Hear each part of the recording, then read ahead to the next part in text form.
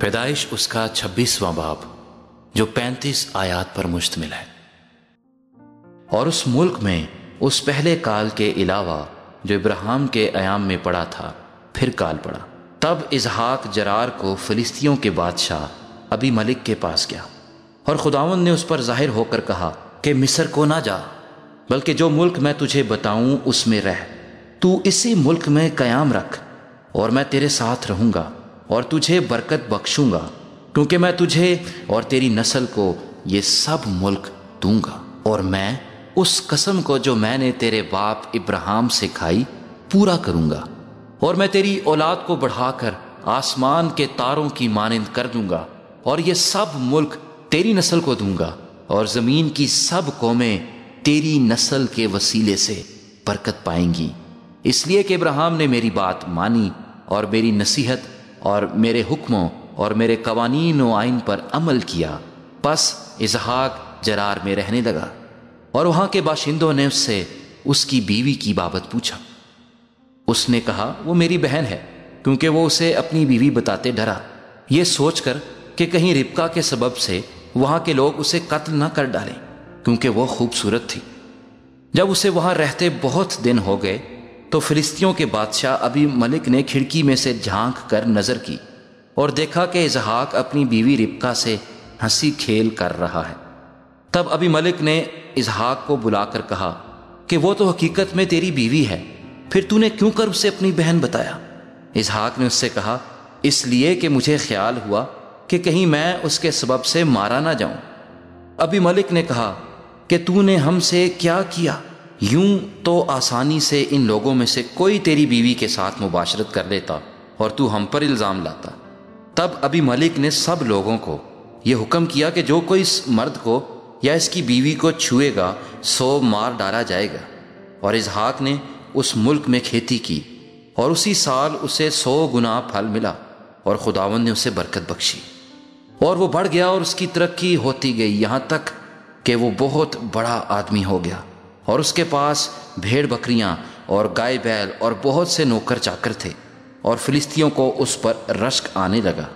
اور انہوں نے سب کنویں جو اس کے باپ کے نوکروں نے اس کے باپ ابراہم کے وقت میں کھودے تھے بند کر دیے اور ان کو مٹی سے بھر دیا۔ اور ابھی ملک نے اظہاق سے کہا کہ تو ہمارے پاس سے چلا جا، کیونکہ تو ہم سے زیادہ زوراور ہو گیا ہے۔ تب اسحاق نے وہاں سے جرار کی وادی میں جا کر اپنا ڈیرا لگایا اور وہاں رہنے لگا۔ اور اسحاق نے پانی کے ان کنواں کو جو اس کے باپ ابراہم کے ایام میں کھودے گئے تھے، پھر کھدوایا، کیونکہ فلسطینوں نے ابراہم کے مرنے کے بعد ان کو بند کر دیا تھا۔ اور اس نے ان کے پھر وہی نام رکھے جو اس کے باپ نے رکھے تھے۔ اور اسحاق کے نوکروں کو وادی میں کھودتے کھودتے بہتے پانی کا ایک سوتا مل گیا۔ تب جرار کے چرواہوں نے اظہاق کے چرواہوں سے جھگڑا کیا اور کہنے لگے کہ یہ پانی ہمارا ہے۔ اور اس نے اس کنویں کا نام اسک رکھا، کیونکہ انہوں نے اس سے جھگڑا کیا۔ اور انہوں نے دوسرا کنواں کھودا اور اس کے لیے بھی وہ جھگڑنے لگے۔ اور اس نے اس کا نام ستنا رکھا، سو وہ وہاں سے دوسری جگہ چلا گیا اور ایک اور کنواں کھودا، جس کے لیے انہوں نے جھگڑا نہ کیا۔ اور اس نے اس کا نام رہوبوت رکھا اور کہا کہ اب خداون نے ہمارے لیے جگہ نکالی اور ہم اس ملک میں برو مند ہوں گے۔ وہاں سے وہ بیر سبا کو گیا اور خداوند اسی رات اس پر ظاہر ہوا اور کہا کہ میں تیرے باپ ابراہم کا خدا ہوں۔ مت ڈر، کیونکہ میں تیرے ساتھ ہوں اور تجھے برکت دوں گا اور اپنے بندہ ابراہم کی خاطر تیری نسل بڑھاؤں گا۔ اور اس نے وہاں مذبح بنایا اور خداون سے دعا کی اور اپنا ڈیرا وہیں لگا لیا اور وہاں اظہاق کے نوکروں نے ایک کنواں کھودا۔ تب ابھی ملک اپنے دوست اخوزت اور اپنے سپا سلار فیکل کو ساتھ لے کر جرار سے اس کے پاس گیا۔ اظہاق نے ان سے کہا کہ تم میرے پاس کیوں کر آئے؟ حالانکہ مجھ سے کینہ رکھتے ہو اور مجھ کو اپنے پاس سے نکال دیا۔ انہوں نے کہا، ہم نے خوب صفائی سے دیکھا کہ خداون تیرے ساتھ ہے۔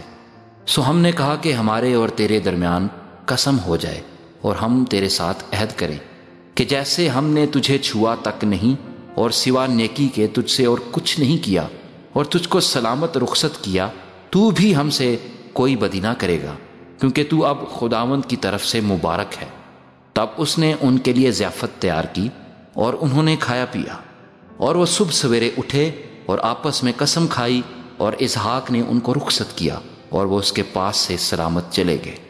اسی روز اظہاق کے نوکروں نے آ کر اس سے اس کنویں کا ذکر کیا، جسے انہوں نے کھودا تھا اور کہا کہ ہم کو پانی مل گیا۔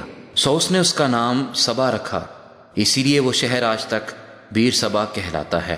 جب اس سو چالیس برس کا ہوا تو اس نے بیری ہتی کی بیٹی یہودت اور ایلون ہتی کی بیٹی بشانت سے بیاہ کیا اور وہ اظہاق اور ربکا کے لیے وہ بال جان ہوئی۔